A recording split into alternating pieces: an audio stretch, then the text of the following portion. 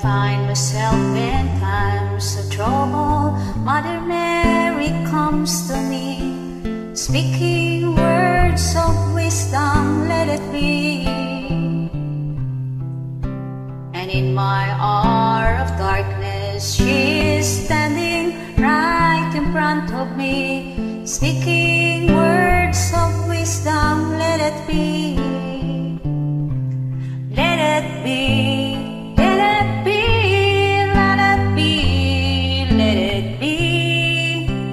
Whisper words of wisdom, let it be.